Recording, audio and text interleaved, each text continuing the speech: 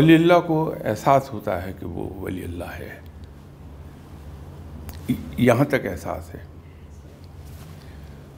लेकिन उसे कहीं भूले से भी ये गुमान नहीं होता कि मैं साहिब इल्म हूँ। मैं अक्सर बेशतर एक बात कहता हूँ कि वली अल्लाह हमेशा दो तरह के झूठ में छुपा हुआ होता है। वो सैंडविच होता है, दो झूठ के दरमियान। जो कुछ नहीं है, वो कहता है, मैं सब कुछ हूँ, मैं बहुत कुछ हूँ। झूठ है। जो कुछ है, वो कहता है, मैं कुछ नहीं हूँ, वो भी झूठ है। तो ये वली उसके अंदर छुपा हुआ है।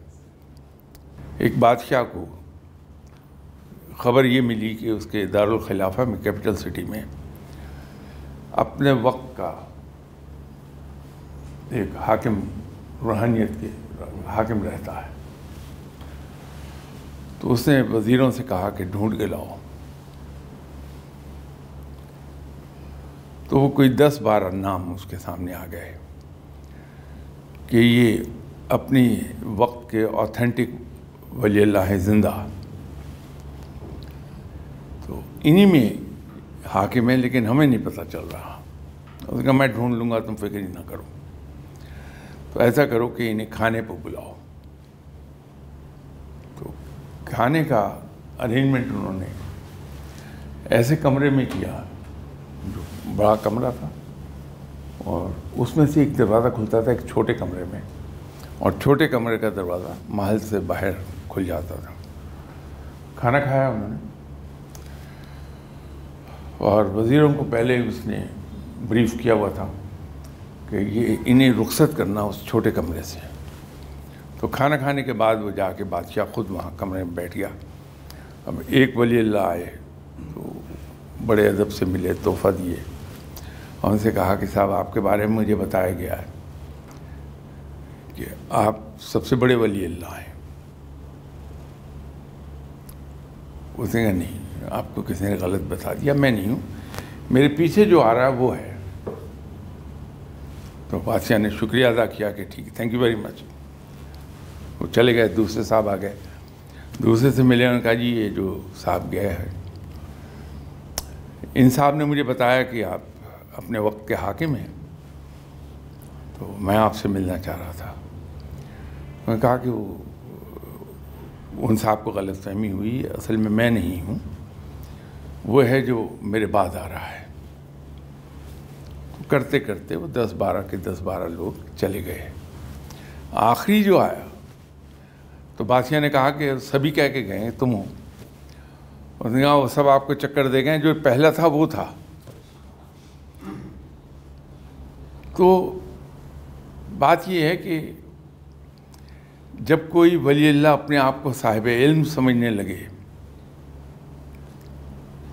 तो सब कुछ खो देता है। तो वलायत का तो पता चल जाता है। लेकिन उनको ये गुमान नहीं होता कि मैं साहिब इल्म हूँ।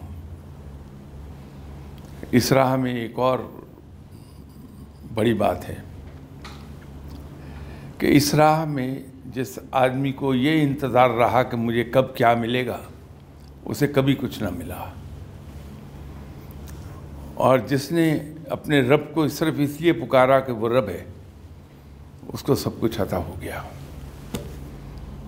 इस राह में ये एक बुनियादी चीज़ है। वो जो आपने फरमाया कि हम पहचाने कैसे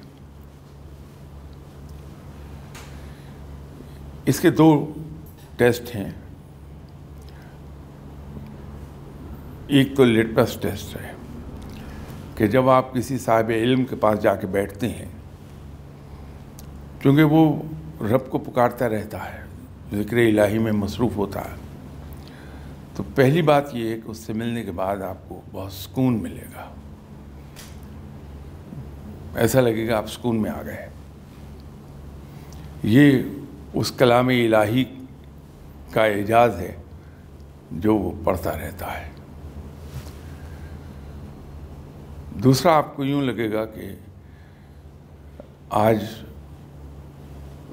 मेरे जो दुनियावी बोझ थे, जो परेशानियाँ थी, फ़िक्र थी, वो अचानक मेरे कंधों से बोझ हट गया है। बड़े लाइट फील करेंगे आप। तीसरी चीज़ ये है कि आपको एक अजीब सी कशिश महसूस होगी उस आदमी के लिए। आपका दिल चाहेगा कि मैं फिर दोबारा अभी जाऊँ इसके पास। वो कशिश कलाम इलाही की है। उस आदमी की पर्सनालिटी को दखल नहीं है। ये तो लिटमस टेस्ट है, जो चंद घंटों में सामने आ जाएगा। एक दूसरा है कि आप अगर ऐसे आदमी से मिलते रहते हैं, वो आपको नसीहत नहीं करता कि आप नेक हो जाइए। लेकिन हैरान कन तरीके पे आप अज खुद नेकी की तरफ़ चल पड़ते हैं। ये उसकी निशानी है।